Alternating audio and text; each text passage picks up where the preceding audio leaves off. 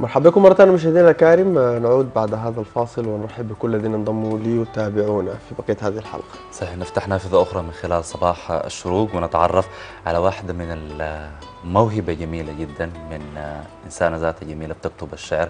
بشكل آخر حنشوف أشكال الشعر اللي ذاتها بتكتبها. سعد أن تكون معنا مرام عصام الدين. أهلا صباح الخير يا مرام. صباح الخير. مرحبا. بك شكرا كده صباح الخير. أهلا وسهلا يا مرام أهلا فيك مرحبا بك. نحن آه، يعني سعيدين إنك تكوني ضيفتنا الليلة. حندردش معاك في آه، محاور كثيرة لكن أكثر حاجة عاوزين نستمتع بعدد من أنا القصائد كمان يعني. سعيدة بوجودي معاكم. بشكر قناة الشروق. شكرا لكم. كمان على طلعت الجميلة. نحسانة ولا أي حاجة. يعني بس حمزة سايد تهبك أصلا هي زولة هادية كذا من الصباح. طيب أجعل حماس المشاهدين بواحدة من الأبيات أو القصائد على حسب اختيارك طبعا. طيب حاقول لكم. دي قصتي المفضلة. أنا كل لك يمين الله يا روحي جد مشتاقة لك. سعادتي بس بتكون معاك وإني جد محتاجة لك. يا من دخلت قلب عنه وخليتني بس مجنونة بك. سترت جرحي كان قبيل وخليتني ديما هادي بك. يأس حياتنا قبل أشوفك وهسي جد مبسوطة بك. سهرانة دايما من عرفتك بس بفكر في عينيك ينبو حنانك أغراني؟ ولك بقول بإني جد عشمانة فيك. سديت علي باب كل شي خليتني بس مشغولة بيك. يزيد حبك كل لحظة أنا في قلبي وفي كل سجدة أنا بدعي عليك سأل ربنا ليا خليك وتبقى ملكي وأبقى ليك يوم عرفتك كان سعادتي وحتكتمل وأنا بين يديك. سجينة هواك ممكن تقول عارفة إنك تستحق حسرتي فيك. يا روحي جدا وأصغى منك ما بتخيب أملي فيك. يا أخي أنت صح عذبتني. لكن بقول بأعلى صوت أنا كل لك سواك حبيبي أنا ما عشقت ومستحيل أجر عليك. سواك حبيبي أنا ما عشقت ومستحيل أجر عليك. يا سلام. يعني ال ال ال النوع ده من الشعر المباشر جدا كتابته آه، قد تكون سهلة لكن إلقاؤه آه، يعني فيه شيء من من الصعوبة. إحنا في مجتمع تعودنا أن المرأة تكتب عن فارس القبيلة وتكتب عن أبوها وأخوها. لكن في في العاطفة آه، بتستخدم الرمزية دائما يعني ما بتكون مباشر كده. أيوة. فأنت الكتابة ال- المباشرة دي آه، بالنسبة لك هل كان ده تحدي ولا ده بس مجرد إحساس عادي؟ لا أنت أبدا. أنا بحاول أوصل إحساسي بالطريقة اللي بتريحني أنا بس يعني. وده الشيء الجميل. آه عن الإحساس اللي أنت بتكتبه به وبالتأكيد الأسرة بيكون عندها دور كبير جدا. أكيد. فعايزين نشوف دور الأسرة كمان في أكيد تنمية موهبتك ولحد الآن يعني هي بالنسبة لك داعم رئيس. أيوة أسرتي دعماني شديد مشجعاني على إنه أنا أمشي لقدام على إنه أنا أكتب من بداية مشواري في الكتابة. كم بديت بكتابة الخواطر يعني أي خاطرة بكتبها بجي بوريها لأمي لأبوي. كان بيشجعني بتفاعلوا معاها. أيوة. بيشجعوني على إنه أنا أكتبها يقول لي كويس يا مرام واصلة عليه كده. ربنا يخليهم لي يا سلام. الله ربنا يخليهم لك. إحنا كمان بنحييهم يعني. دي برضه واحدة من الحياة المهمة إنه الأسرة تكون داعمة لل... لل... للمبدع في بداياته صح. عاوزين نسمع نص ثاني طيب. حقول ده لأبوي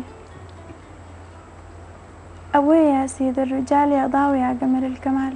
أنت القمر وسط النهار وأنت الملك بين الرجال. انت الأمان وانت الحنان وانت الطغى وانت الكيان.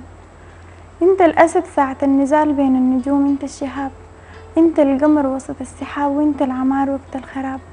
يا أبويا يا سيد الضيوف يا هادي يا ملك الحروف انت الملاك بين الألوف وانت الأمان وقت الخوف. وللمحتاج بتبل الجوف. للعيان انت مداوي وللتعبان انت مواسي. الخير كتير وافي. يا ساكن ديما هادي. بحكمك كمان راضي. مع إنك تعبت وشقيت لكنك اديت وكفيت وحنيت ووفيت وعطيت وما خليت واديت وما عديت ولما اديت ما عديت. يا ابويا يا مازو الخصام يا سيدي في خلص الكلام. مخلصتك وحبيبتك مرام يا بابا يا أجمل عصام. ربنا يديه الصحة والعافية كمان. كل أسرتك الكريمة. آه نحن دائما بنتهم الناس آه سواء كان كتابة ال- بالنسبة لكتابة المرأة أو الرجل. حنجيها في محور ثاني لكن لو تكلمنا عن أي نص أنت بتقوليه مرات أنت بتحسي إحساس العامة بتكتبي آه عشانهم في ناس بيتهموا أي زول بيكتب نص بيقولوا موجه طوالي بالنسبة له إنه حالة مرت به وبالتأكيد هل كل النصوص اللي بتكتبيها أنت يا مرام هي مريتي بها ولا بلسان حال العامة أنت بتشوفي قضايا وبتعالجيها ممكن أنت تكتب الشاعر يكتب بإحساس زول تاني. آه قصة مثلا أثرت في نفسه ممكن يكتب فيها إحساس صادق. آه زول حكى لك مشكلة أنت ممكن يجيك إحساس إنك تعاطفت معه بتكتب بإحساسه. يعني ما شرط إن أي كتابات بتحصل معانا إنه معناها دي حاجة حاصلة معانا. أتهموك كذا مثلا في كتابات أيوة. شعرية قالوا دي مرام مارة بالحالة دي طبعا أيوة كذا. إحنا كشعراء احتمال دي أكبر مشكلة بتواجهنا. إنه يقول لك أي كتابات مثلا ليه أنت حزينة؟ ليه الحاجة دي حاصلة معاك؟ مثلا ورينا آه القصة مثلا بتاعت الشعر ده شنو؟ الموقف اللي حصل معاك خلاك إنك تقول الكلام ده شنو؟ أنا عايزة أوصل لكم حاجة إنه ما أي كتابات نحن بنقولها هي حاصلة معانا. آه، واحدة من المقولات القديمة أصدق الشعر أكذبه يعني برضه آه، كثير من ال- من الناس بيتذكروها يعني.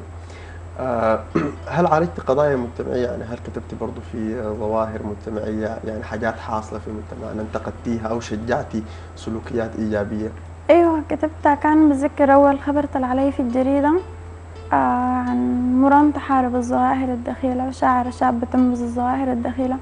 آه يعني الخبر ده طلع عن قصيدة معينة أنا كتبتها والقصيدة دي يعني عندها عدة أسباب. أنا كتبتها عشان أسباب كتير عشان حاجات حصلت.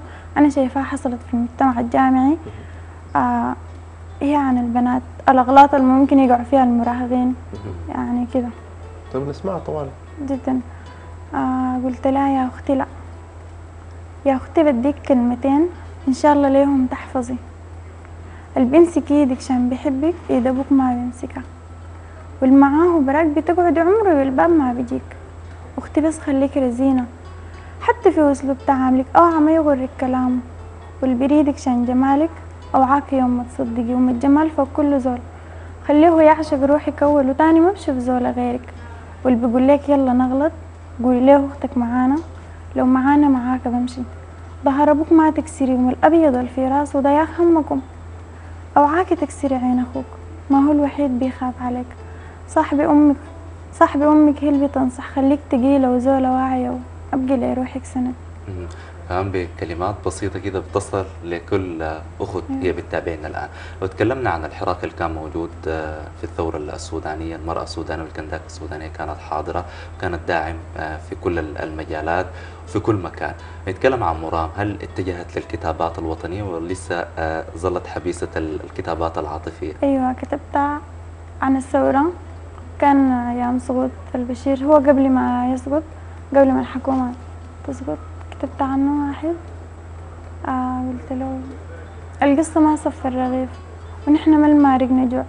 القصة في دم الشهيد والمشكلة في أم الشهيد. كل ما شمس الله تشرق هي عليك بتدعي وتحتسب. كيف انت نوم وحشاها محروق؟ لله تدعي وتنتحب. والله ما هي شماتة فيك وحكم الله ما فيه اعتراض لكن كان عندك جنى كان فهمت شنو الحشا. بس وين تروح؟ يوم في الغبر بيدخلوك وبالتراب ده بيدفنوك لا في جنود يحسنوك ولا في حراس ينجدوك. بحق المظالم في في الحساب بيعذبوك. الشعب بحقوقه بيطالب. وانت بالرصاص ترشه شكرا آه، جزيلا لك آه، مرام عصام الدين. آه، إحنا شاكرين جدا لحضورك لكل اللي قدمت لنا من ابيات نتمنى إنه هذه الموهبة تتطور.